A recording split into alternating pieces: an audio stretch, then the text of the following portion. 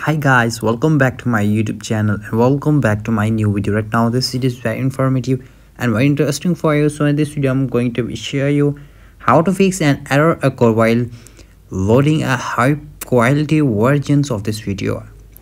So how we can fix this type of error in this video i'm going to be show you. So if you're new in my channel then please don't forget to subscribe my youtube channel and hit the bell icon for my new videos. So without wasting any time let's get started the video firstly what you have to do go to your settings.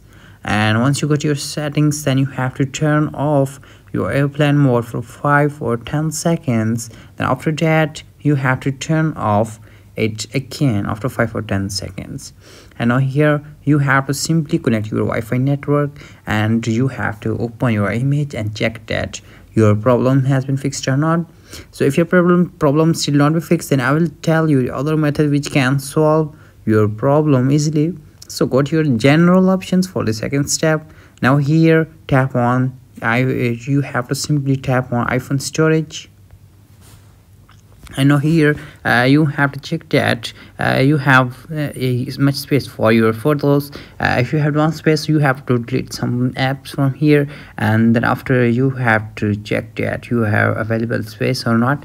And after check that your problem has been fixed or not so if your problem still not be fixed then i will tell you the other method which can solve your problem easily to your set is your apple profile and now here tap on media and purchases sorry.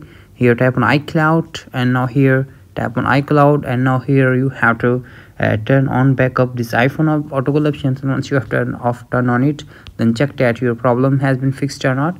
So if your problem still not be fixed then here uh, go to your general and tap on software updates and here you have to check that uh, if your software update is required. So firstly you have to update your software.